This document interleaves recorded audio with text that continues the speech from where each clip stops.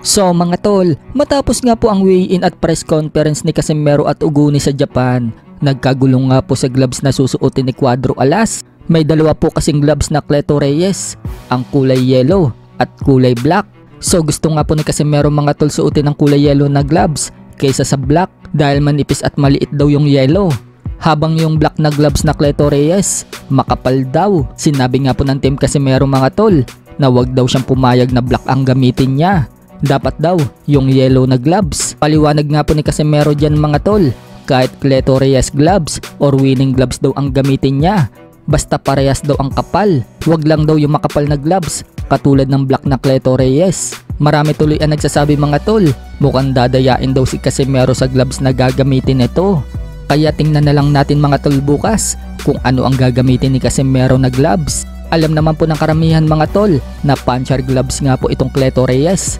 Yan po ang paboritong suotin ng ating pambansang kamao 8 Division World Champion Manny Pacquiao. At sanay nga din po si Casimero na gumamit ng maninipis na gloves para talagang tumutugon yung knuckle niya sa mukha ng kalaban.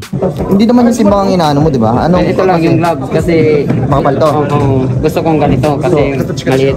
So, Katachinoga. Katachinoga. Type English yun eh. Sinabi pa naman ni Casimero mga tol sa presko nila ni Uguni na tatapusin lang daw niya itong si Uguni. Isusunod na daw niya si Naoya Inoue. Hinahanap nga po ni Casimero si Inoue mga tol. Ika pa niya, best friend Inoue, where are you now? Tinanong si Casimero kung saan daw nanggagaling natatalunin daw niya itong si Inoue.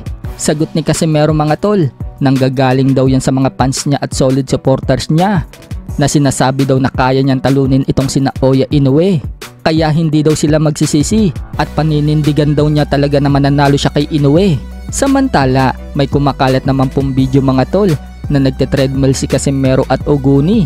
Makikita na habang nagte-treadmill itong si Uguni, kumakain pa ito. At hapong-hapo nga po itong si Uguni at napagod. Kaya marami tuloy ang nagkomento sa video na yan. Nalagot na daw itong si Uguni. Ahina daw pala ito.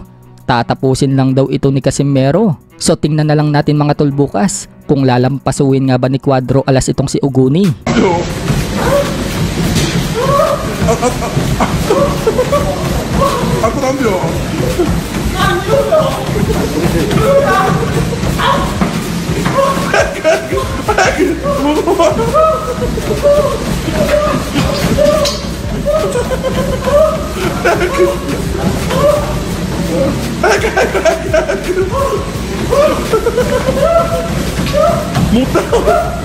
ったいない。もった。もった。